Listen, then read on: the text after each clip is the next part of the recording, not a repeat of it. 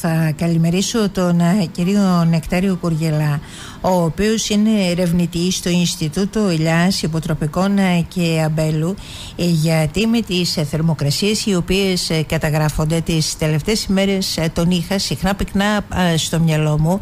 Είδα χθες ότι είχε εκδοθεί και ένα αρδευτικό δελτίο για το ποιες είναι οι ποσότητες νερού που χρειάζονται οι καλλιέργειες αυτή την περίοδο.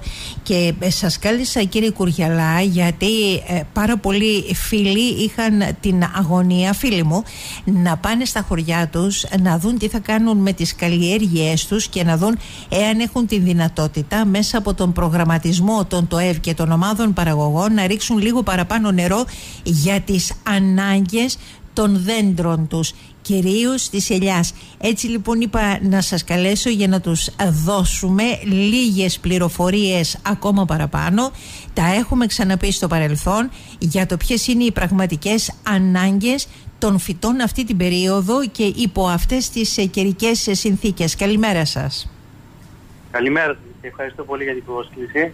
Ε, ναι, είναι αλήθεια ότι όλο και πιο συχνά παρατηρούμε στην Κρήτη παρατεταμένες θερμοκρασίες που αγγίζουν ή και ξεπερνούν τους 40 βαθμούς Κελσίου που προφανώς αυτό δημιουργεί πρόβλημα ε, καταπώνησης ε, ε, στα δέντρα μας, στα φυτά μας οπότε έχουν και μεγαλύτερες ανάγκες ε, σε νερό. Ε, εμείς ε, όπως είπατε και εσείς μαζί με την Περιφέρεια Κρήτης εκδίδουμε σε εβδομαδιαία βάση τις δελτία, αρδευτικά δελτία όπου δίδουμε ε, τις ποσότητες νερού που θα πρέπει ο παραγωγός ε, να βάλει ανάλογα την περιοχή που βρίσκεται και ανάλογα την καλλιέργειά του ε, σε εβδομάδια βάση. Ε, είναι αλήθεια ότι η εβδομάδα που πέρασε και οι μέρες που διανύουμε είναι, είναι πολύ ζεστές, οπότε εκ των πραγμάτων και οι ανάγκες για νερό είναι μεγαλύτερες. Ε, οπότε αυτό και στα αρδευτικά δελτία ε, που δώσαμε. Τώρα το μεγάλο θέμα είναι ε, οι ανάγκες του φυτού είναι μεγαλύτερες σε νερό, πού θα βρούμε το νερό; Γιατί είχαμε ξανασυζητήσει ότι ε, περάσαμε δύο χρόνια με πολύ, χαμηλέ, με πολύ χαμηλές βροχοπτώσεις, ε, οπότε τα αποθέματα νερού είναι συγκεκριμένα και σε κάποιες περιοχές ε, αρκετά περιορισμένα. Οπότε το θέμα πώς θα μπορέσουμε να διαχειριστούμε καλύτερα το, το νερό που ήδη υπάρχει και πώς αυτό μπορεί να κατανεμηθεί καλύτερα τις ε, καλλιέργειές μας ανάλογα το στάδιο ε, ανάπτυξης και τις ανάγκες που υπάρχουν για να έχουμε μια καλή παραγωγή. Αυτό, αυτός είναι ο στόχος μας όλων.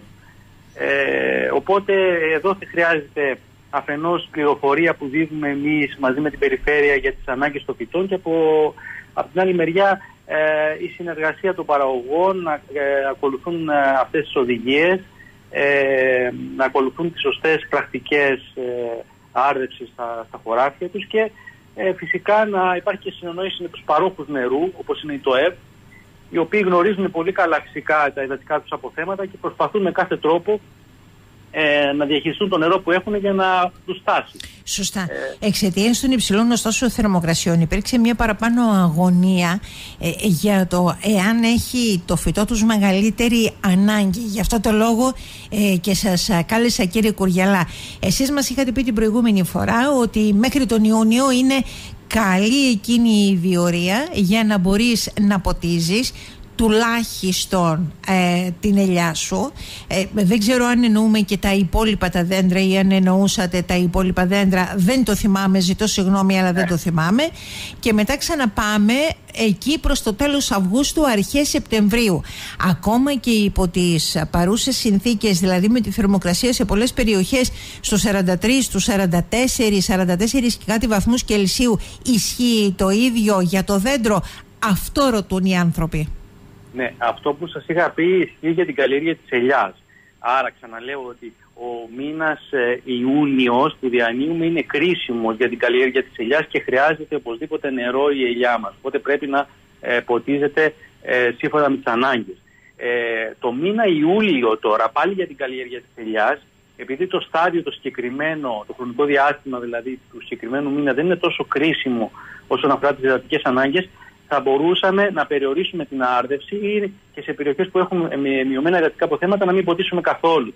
Φυσικά αυτό ισχύει στην περίπτωση που ο Ιούλιος κυλήσει ομαλά, δηλαδή ε, δεν έχουμε πάλι ακραίες τιμές των 43-44 βαθμών Κελσίου, γιατί εκ των πραγμάτων αν δεν έχουμε τέτοιες θερμοκρασίες θα πρέπει τουλάχιστον ε, σποραδικά να κάνουμε κάποια ποτίσματα, δηλαδή να δώσουμε λίγο νερό στο φυτό μας, γιατί στρεσάρεται, όπως καταλαβαίνετε, σε τόσο υψηλές θερμοκρασίες και θα έχουμε εκ των πραγμάτων Άρα, ε, ο Ιούλιος είναι ένας μήνας που μπορούμε να μην ποτίσουμε την ελιά, πάντα μιλάω για την ελιά, αν οι θερμοκρασίες ε, του καλοκαιριού ε, κοιμαθούν σε νορμάλ επίπεδα. Αν έχουμε ακραίες θερμοκρασίες όπως είχαμε τώρα πάνω από 40 βαθμούς, θα πρέπει αναγκαστικά να δώσουμε λίγο νερό και σε αυτό, και, και σε αυτό το μήνα.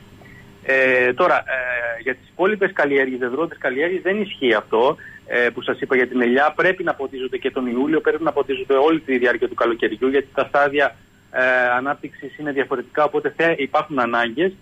Ε, αλλά ε, σίγουρα πρέπει να ποτίζεται λεολογισμένα. Αυτό είναι το, το ζητούμενο. Λεολογισμένα με τις σωστές ποσότητες που χρειάζεται το φυτό, ανάλογα το τύπο του εδάφους και ανάλογα την καλλιέργεια.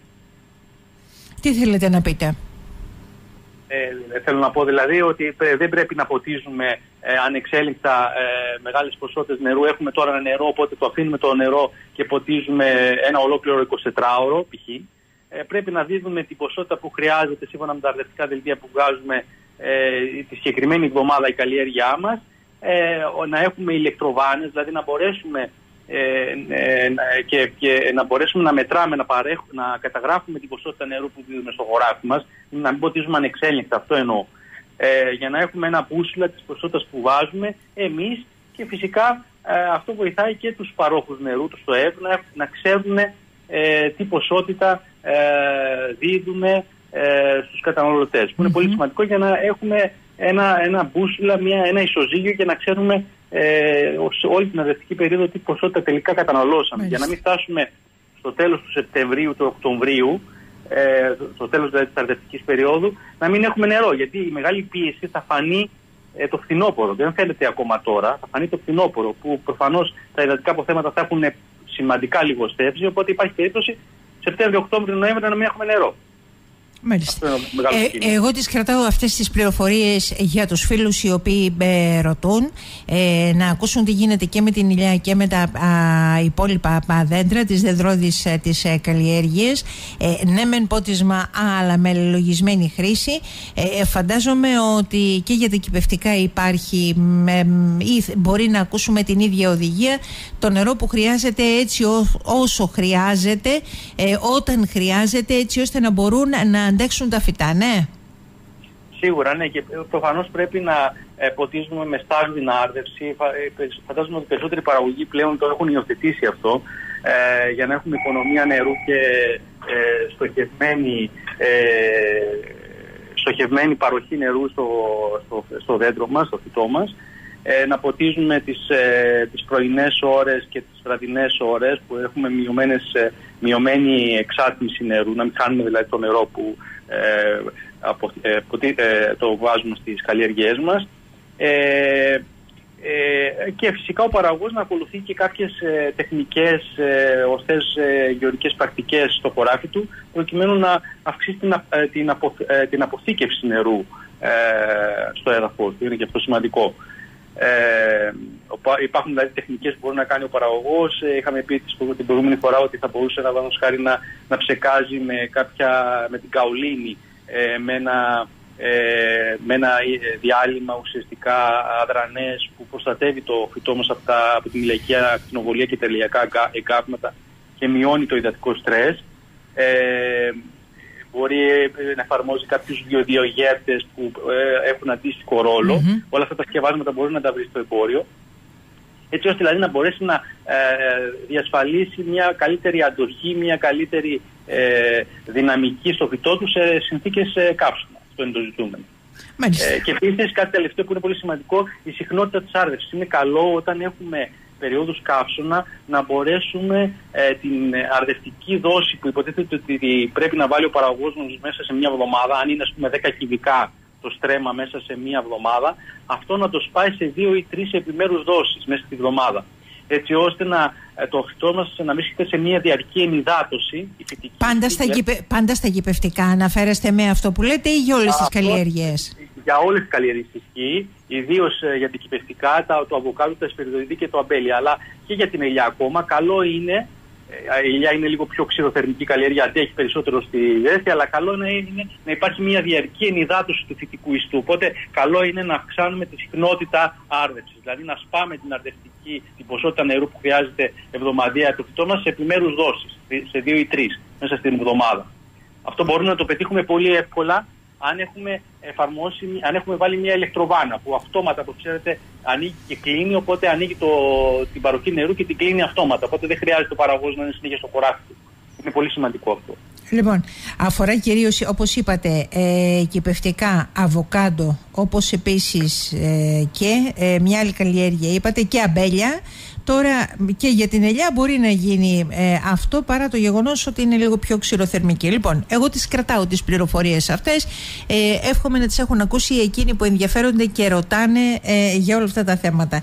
Ε, και να σας ευχαριστήσω πολύ στο σημείο αυτό. Αυτό κύριε Κουριαλά. Εγώ ευχαριστώ και εγώ να είστε καλά στη Καλά να είστε, ναι. Μας δώσατε ε, χρήσιμες πληροφορίες.